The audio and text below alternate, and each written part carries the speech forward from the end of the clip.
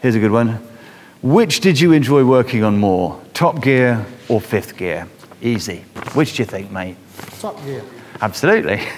Because it was a riot. Clarkson and I arrived at Pebble Mill in, what was it, 1989, and we just were presented with this really, really boring car program where people walked around with a carburetor in one hand and you know, a camshaft in the other.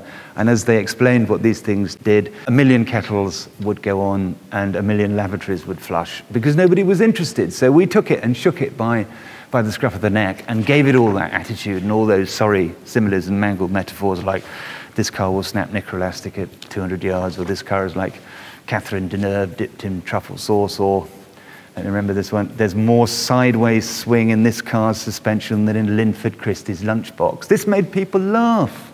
And this was great. So we invented this hybrid of a car program with attitude that made you smile, that made you remember stuff, and wasn't technical. So we had a real ball doing it. And, and all the car makers got cross with us, and they tried to take the BBC to court and everything, and we were constantly in trouble.